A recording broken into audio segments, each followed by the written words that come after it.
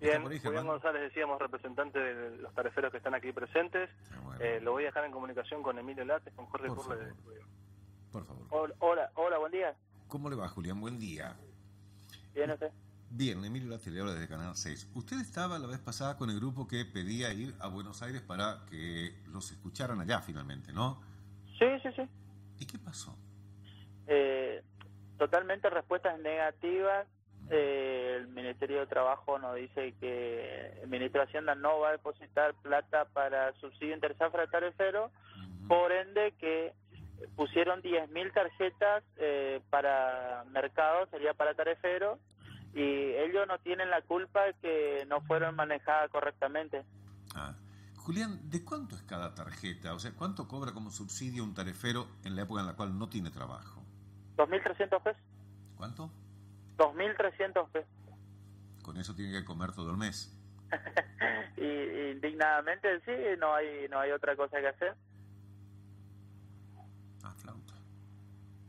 y, no hay más tarjetas si tiene más hijos o alguna cosa así. No, no, no, incluso eh, lo que hicieron eh, los que manejaron esto, porque esto no manejó la, la provincia, manejó movimientos sociales, y pusieron las personas que ellos quisieron, no, no. Yo te digo, de 10.000 tarjetas, quizás hay mil tareferos que tienen. El resto nadie tiene, porque acá los compañeros que tengo acá, que son 57 trabajadores blanqueados, ninguno tiene tarjeta social. Blanqueado, o sea, cobran un sueldo en blanco. Eh, claro, nosotros cuando cosechamos la hierba tenemos que tener trabajar blanqueado por el tema de que tenemos que tener cobertura social y todo eso. ¿A usted es tarifero también? Sí, sí, sí, yo sí, soy tarifero, tengo los recibos de sueldo, tengo mi carnet de la Renatea, todo. ¿Usted trabajó en radio alguna vez? No, no, no. ¿No? No, no, Me parecía que lo había visto alguna vez en alguna radio. A Emilio le gusta su voz, por eso, seguramente. Ah. me, parecía haberlo visto en, alguna foto, ¿no? De, de, una radio, por eso me quedé intrigado. Sí, no, antes, eh, antes, o sea, hacía programas, pero tropicales o qué sé yo, sí, pero no, nunca informativo. No, no, por eso, trabajó en radio, por eso hay una foto de un, Facebook de Julián González que lo ve sentadito en una computadora, digo... Sí, sí, sí, sí. Se ganaba bien la vida antes, vio para qué cambió el trabajo. estaba pensando, el Facebook ese de Julián González, justamente, que es usted, ¿no? Donde está el muchacho este, dice, trabaja en Mongosis, ¿es, ¿ese es? Cuando yo me creé ese Facebook, uno nos pone cualquier cosa, ¿viste? claro, mm, cumpleaños 27 de mayo del 92, vive en Oberá. Eh, no, y por eso, tío, el, el Facebook tiene muchas informaciones que vos quizás eh, modificás.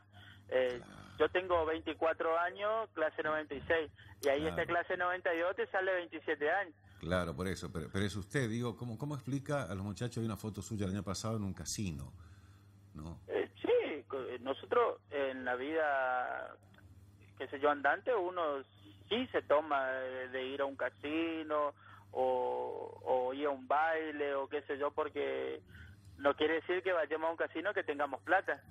Claro, claro. No, está bien, era curiosidad solamente para ubicar bien a con quién hablaba, ¿no? Sí, sí, no. aparte de que, de que, de que somos trabajadores rurales, que somos tareferos, tenemos la documentación y por ahí sí yo pude tener un poquito más de estudio que algunos de mis otros compañeros, mm. pero por eso te digo, en la vida cotidiana uno quizás tuve el honor de ir a conocer la cancha de River, todo eso, ¿viste? O sea, son cosas que te dan el momento a la vida. Ah, bueno, Te mando un abrazo enorme, amigazo. Gracias.